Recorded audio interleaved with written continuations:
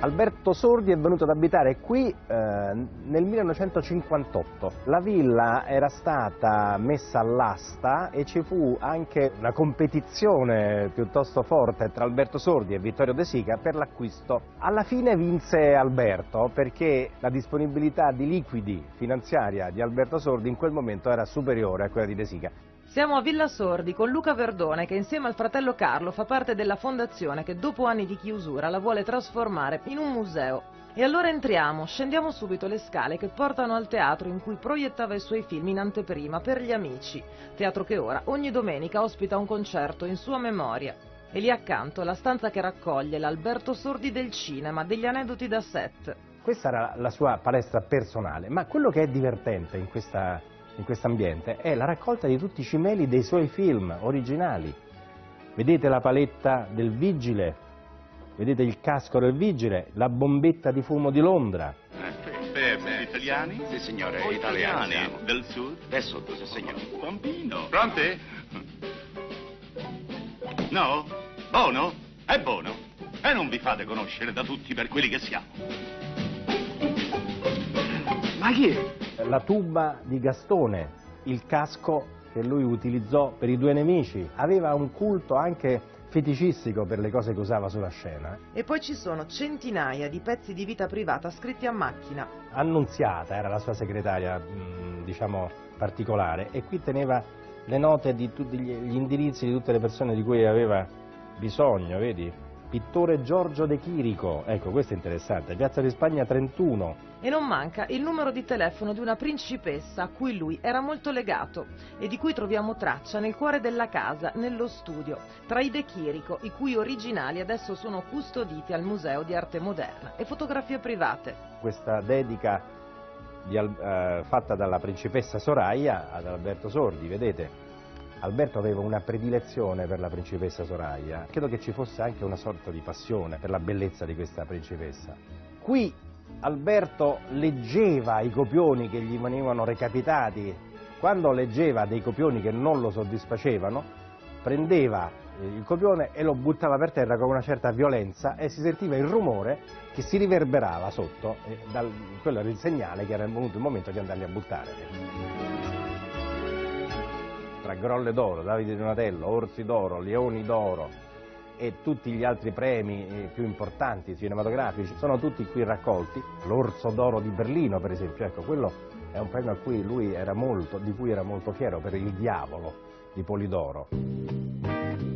C'è poi la barberia, la poltrona che lui tanto amava. Qui leggeva le lettere, studiava a memoria le battute prima di andare a recitare una, una parte. In un angolo della barberia c'è anche il guardaroba di Alberto Sordi con tutto il suo vestiario.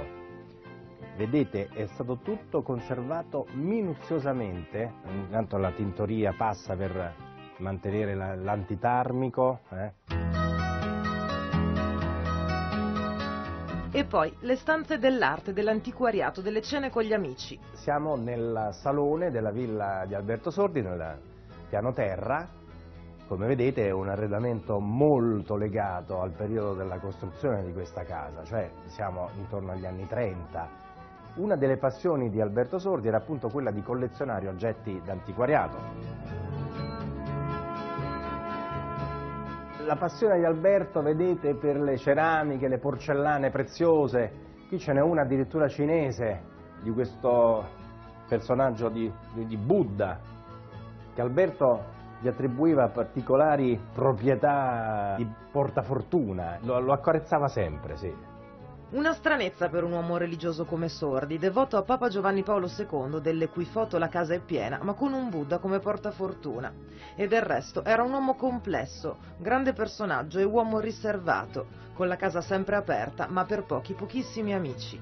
Qui avvenivano i pranzi, i pranzi ufficiali. Venivano accolti Fellini, Dino De Laurentiis, i cardinali di Santa Romana Chiesa, venivano qui, sedevano. Monica Vitti era sempre qua, tutte le mattine, tutti i pomeriggi, mangiavano le fettuccine, che era un po' il piatto, diciamo, tipico della cucina di Alberto Sordi. I suoi amici cui era legatissimo, come lo era ai cavalli.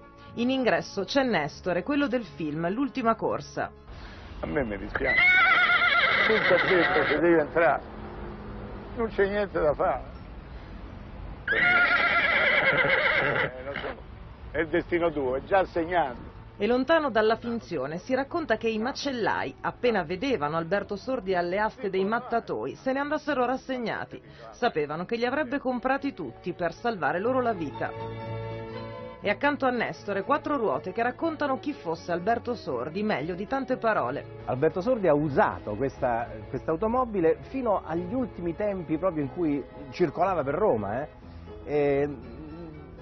Gli ultimi tempi non la guidava lui, la guidava Arturo, il suo autista. E con questo Alberto aveva il vantaggio di tenersi, diciamo, defilato.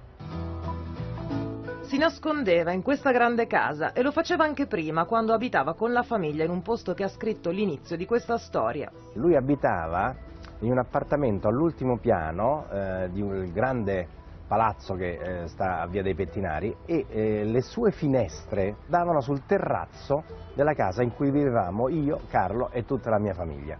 Carlo aveva più coraggio nel tirare sassetti nella finestra dove dormiva Alberto Sordi. Si affacciava sempre la sorella, Aurelia, e una volta, eh, qualche anno dopo, Carlo la incontrava e pensava che fosse Alberto Sordi vestito da donna, questa è una cosa curiosa. Non avrei mai creduto che io e mio fratello Carlo eh, avessimo questo compito di eh, accompagnare la gente eh, nella conoscenza della, del suo, della sua grande arte e del suo cinema e quel destino di aver lanciato quei sassetti nella finestra di, di Via dei Pettinari era evidentemente un gesto che ci avrebbe legati per sempre, forse. Ecco.